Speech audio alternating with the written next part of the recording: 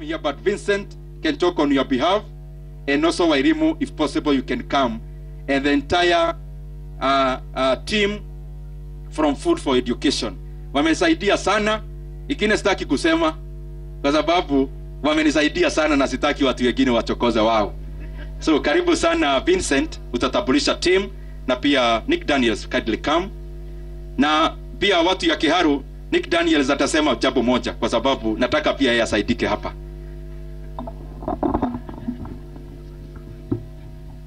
God is good and all the time kä harå nä kwega? Nyoro nä amå nyoroketie. Nä må kå reka nyorokie bå rå ri må gima rogo ä no ndärenda tå mä cenjia very soon. Nona yandä kä kä haru masomo bora. Umeona imeandikwa kä haru masomo bora? Nataka sasa tuibadilishe iende muranga kaunti masomo bora.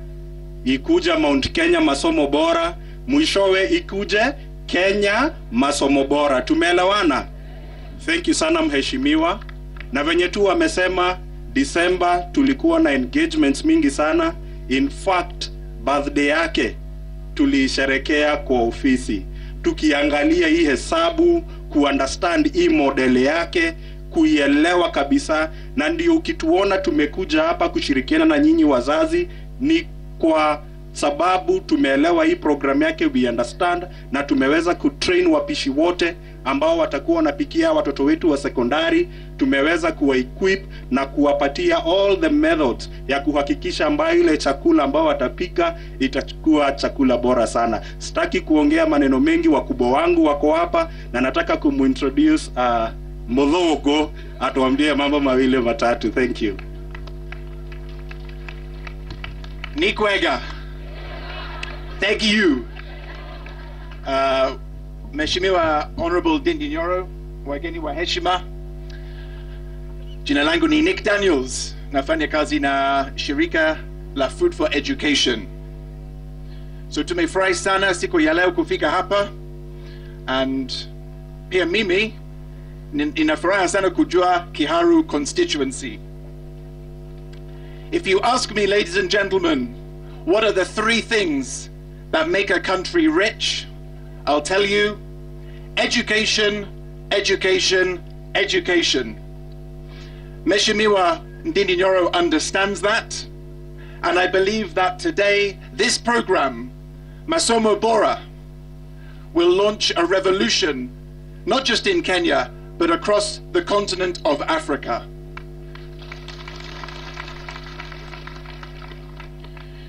School feeding is a challenge around the world, and it is inspiring to see Kiharu constituency leading the way, showing the way on how to end classroom hunger. So I believe, to conclude, there are very few people about which it can be said, he changed my life.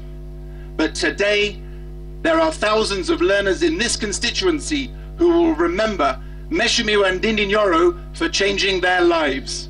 Asante sana, uwe na wiki njema, tumeshukuru sana sana. Asante sana Nick, Daniel, Nick Daniels. Uh, I have to say one thing about you, kwa sababu tumekuja hapa kusaidiana, au sio? Huyu mdhongo hana mtu,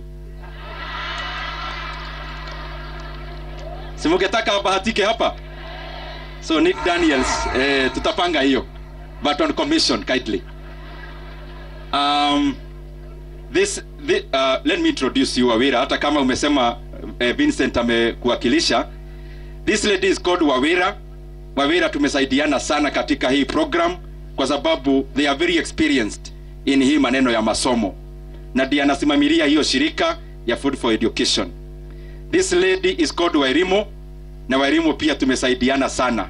Hiyo birthday Vincent anasema my birthday is Jamhuri Day. Vile tulitoka State House na rais akanipea CBS. Hiyo jioni yote up to night tulikuwa ofisi yao tukipaga hii murandi ya Kiharu Masomo Bora program. I really want to appreciate you on behalf of this Kiharu people kwa ile usaidizi kubwa mumenipea. Asanteni sana, may God bless you. Na so that niite huyo wa pili nimeambiwa kuna watu wanatazama na wangetaka wasikie vizuri hawajafafanuliwa vizuri. Ni nataka kurudia.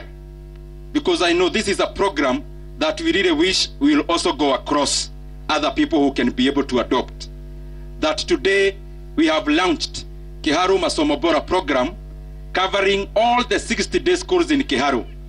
Even the boarding schools with day element we are covering the day scholars in this program they are all 14,000 learners in Kiharu, and we have been able to allocate 60 million Kenya shillings from CDF that specifically is going into revamping infrastructure in our day schools, building laboratories, and um, changing the face of our infrastructure. We have also allocated 10 million that is going towards revision books. But the more important thing about this program, and it is premised on the fact that hata mimi nikisoma nilisoma kwa mashida mingi. Ni ya kwamba hapa kiharu siku ya leo we have been able to launch another special thing in regards to what our parents pay. Because in all our day schools today we have rolled out a program where parents will only be paying 1000 shillings per term for their learners. And this money is covering many things other than the other school issues, this money will also cover meals in our schools. All our learners will get ile chakula ya eh, chai ama kinywaji ya saa nne. They will all get lunch in school and we have included Saturday in that program that our learners will always be partaking eh, lunch in our schools. And in this program, we have also enriched the menu that our learners will take rice three days and githeri three days instead ya ile githeri ya mfululizo ambayo wamekuwa wakizoea. Kwa hivyo nimegetaka nitangazie wote, hata wale wanatazama, ya kwamba sasa hapa Kiharu day school zetu wazazi watakuwa wanalipa 1000 shillings per term, na pia wale ambao mko na relatives Kiharu, najua mnatazama, na kama your, your sister got married here in Kiharu na wewe unakaa Kayole ama unakaa Laikipia ama unakaa pahali kwingineko, hii mradi sisi watu wa Kiharu hatujipendi. Hata wewe ukileta mtoto wako akae hapa Kiharu, akipata nafasi katika shule yeyote ya Kiharu ya day school, pia yeye atakuwa kwa hiyo mradi ya kulipa only 1000 per term. Na sasa tukiendelea, nitaka niite senator wa Nandi County Mati, ningetaka ulete start. Senator wa Nandi County anaitwa Samson Cheraragei Kiprotich ambaye yako hapa siku ya leo. Karibu sana. Eh, Bwana asifiwe. Muriega, muko sawa? Bas, ndugu yetu Ndindi Nyoro, viongozi wenzangu, wananchi na wanafunzi, I want to begin by saying tumefurahi kufika Kiaru siku ya leo, na naona nyinyi mnapenda masomo. Hey, mmejitokeza kweli kweli. First of all, nataka nishukuru sana kwa sababu mlimrudisha Ndindi Nyoro. Naambiwa hata hakutoa posta so i want to really appreciate na kusema asante. Na pia asante ya pili nataka niseme asante kwa kuchagua kenya kwanza ikiongozwa na dr. William samuel ruto na pia rigadhi kashagwa asanteni sana mungu awabariki na we are very grateful. Thank you mno sawa sawa. Ya pili nimetoka huko nandi. Mnajua nandi?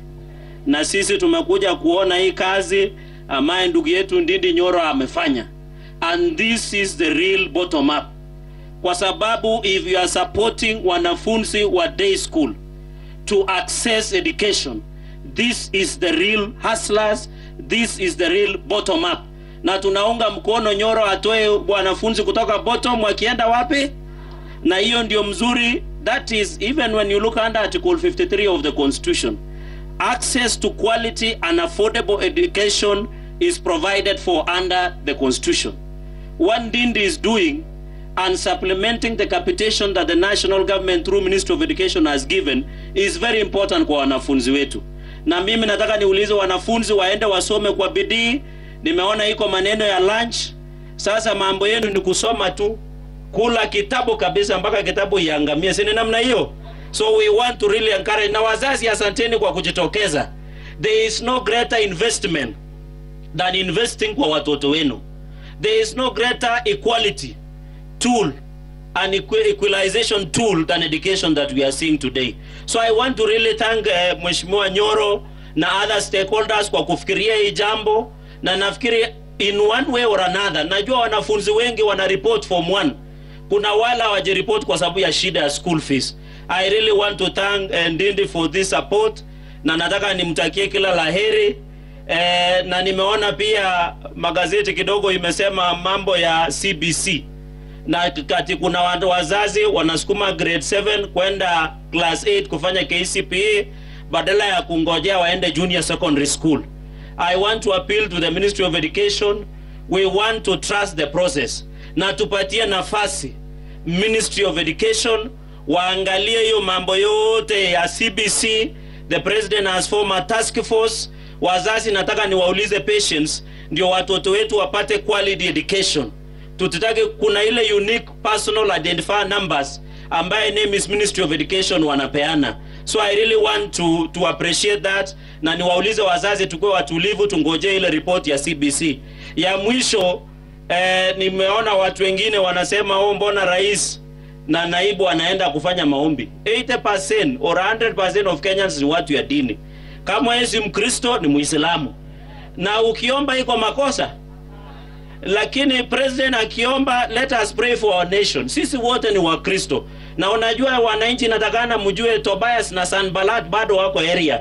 Na tunawajua majina.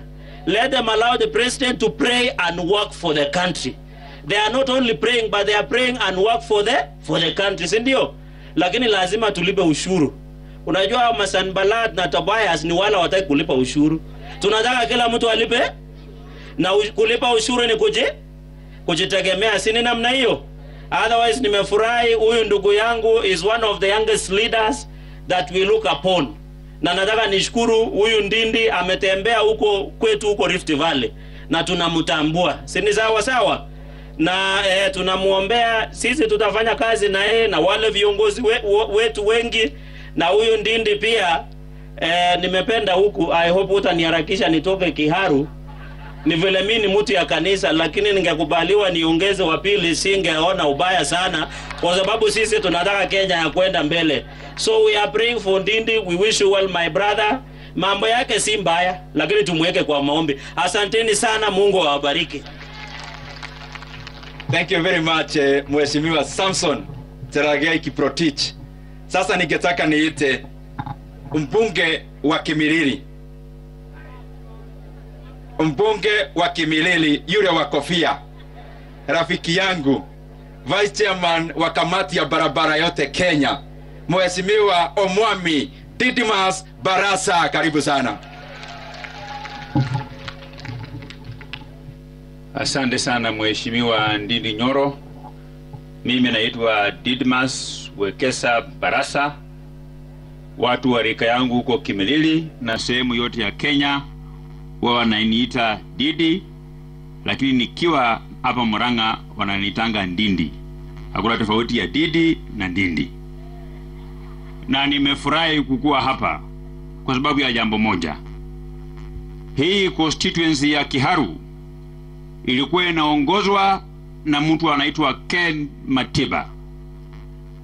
Ile viatu ambayo Ndindi Nyoro alivaa mwaka wa 2017